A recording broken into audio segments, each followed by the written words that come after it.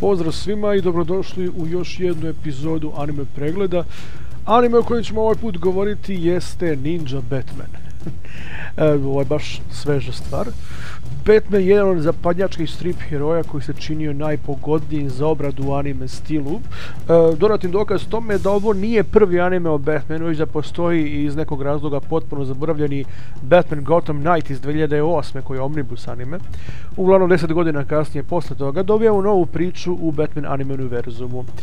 Premisa više nego zanimljiva. Tokom zadatka sprečavanja Gorila Gruda da mašinom za prebacivanje vremena napravi haos u Gothamu, Batman, Robin, Catwoman i kompletna galerija DC stripskih heroja i negativaca bivaju prebačeni u feudalni Japan.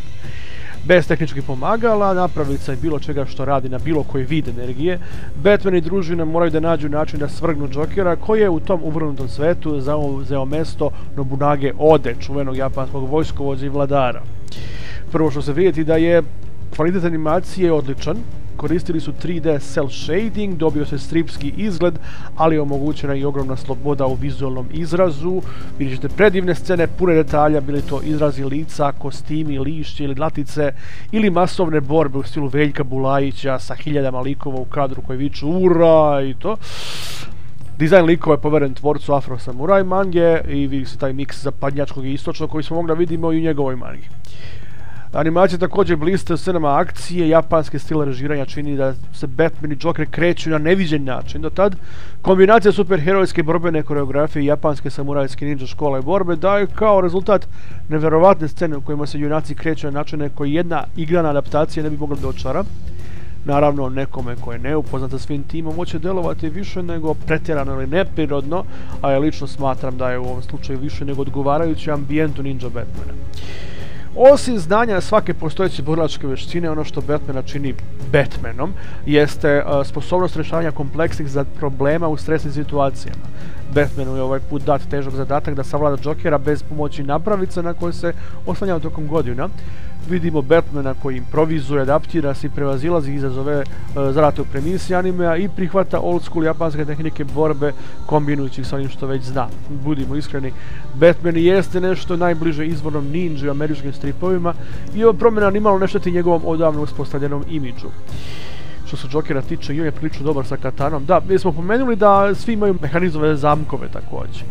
Dakle, Batman se uvalio preko glave. Iako finalni sukob je krajnje bizarno, posle decenija gledanja kako se ova dva antipoda natežu jedan s drugim, zanimljivo je vidjeti nešto što nismo vidjeli do sad. A borba između dva džinovska entiteta u feudalnom Japanu nije nešto što se viđa svakog dana. Ostali zatočenici Kazamato Arkhamu su se također vratili kroz vreme, a to su Poison Ivy, Deathstroke, Penguin, uh, Two-Face i naravno Gorilla Groot. Svi oni zajedno sa Jokerom igraju super negativsku verziju Sengoku Basare i iako je zanimljivo vidjeti ih u kostimima inspirisanim samurajustinom, ipak je očigledno da je Ninja Batman film o Batmanu i Jokeru, čak i Harley Quinn deluje kao dekor u toj situaciji.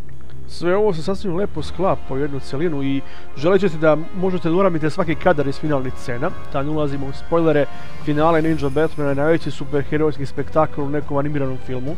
ćete apsolutno oduvani svime što se tokom do poklanja čina bude dešavalo, makoliko bizarno i absurdno bilo.